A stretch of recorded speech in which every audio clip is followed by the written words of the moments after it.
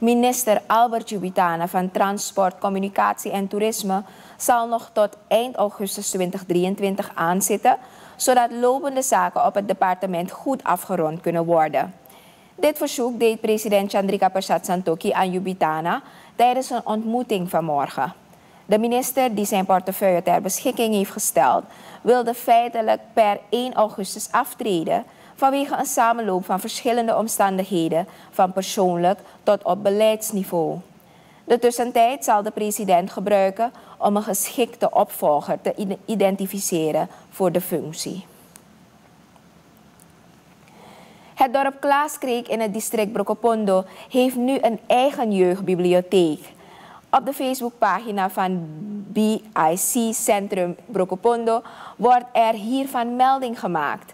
De bibliotheek moet eraan bijdragen dat zowel jeugdigen als volwassenen hun kennis vergroten. Telma Eivelaar, directeur Jeugdbibliotheek Klaaskreek, is al vanaf 2015 bezig om dit idee uit te werken. Ze hoopt dat de jeugd van Brokopondo nu meer gaat lezen. Vandaag is de internationale dag tegen hepatitis.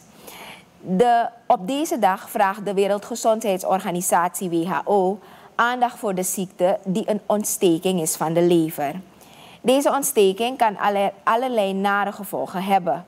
Bijvoorbeeld littekens op de lever of leverkanker. Hierdoor kan de lever zijn werk niet meer goed doen. De bekendste vorm van hepatitis is de zogenaamde virale hepatitis, veroorzaakt door een virus. Wereldwijd overlijden jaarlijks ruim 1,3 miljoen mensen aan de gevolgen van virale hepatitis. Het thema voor dit jaar is One Life, One Liver en benadrukt het belang van het beschermen van onze lever.